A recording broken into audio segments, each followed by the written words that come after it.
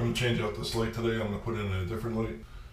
So the first thing is to take this one off. This is an LED bulb. So take this off. We'll also turn off the light. Alright, I need a Phillips screwdriver. Remove two screws. And then this will turn and pop off. Then I can get access to the wiring. And all I did was turn the light off, the light switch off. But uh, to be safe, you should really turn the breaker off. Don't do what I'm doing.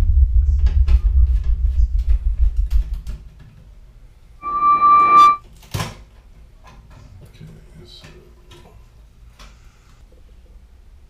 so there are two wire nuts that need to be removed. When I remove them, then I can remove that light fixture and I can begin installation of the other light fixture.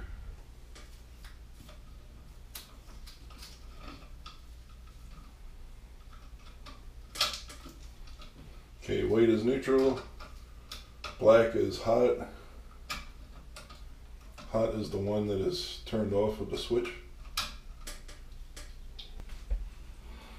Okay, it's very similar. This should only take me a couple minutes to install. These are the screw holes. Screws are already mounted in the mount above. We'll just place it up there, turn it, and then tighten the screws. First we have to connect the wiring. So we're going to connect the black to the black and the white to the white. This does come with a ground wire, so I'll have to make sure I connect that too.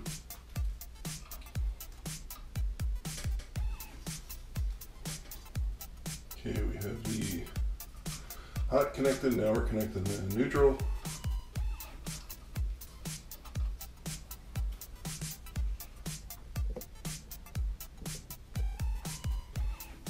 So what we have here, we have the black connected with this wire nut. And we have the white connected with that wire nut. You put the wires together and you tighten them. And then this is the screw I'm gonna connect. I could use a wire nut if I found one, but I'll try to connect it to that screw. Now the lamp that was here was a single lamp with an LED bulb and that was 10 watts for 60 watt equivalent.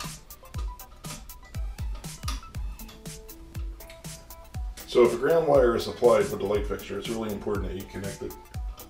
Now we have to stuff the wires back up in to the junction box area. On this mount, there are two screw holes. One's on the outside that we're using right now for the old fixture. Two on the inside. I'm going to move the screws to the inside and we'll see if it'll match up. Once again, put the screwdriver through to match up the screw. See if we can. Oh, I see the other screw.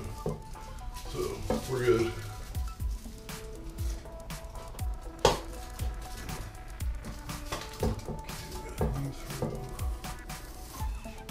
Yep, now we just need to tighten it up.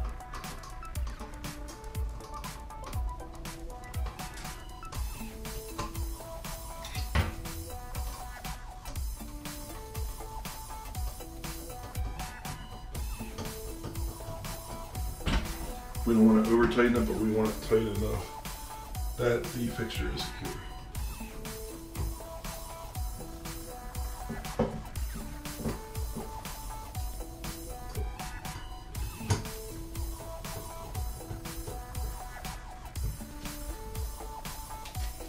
These are the bulbs I'm using. Let's see that it works.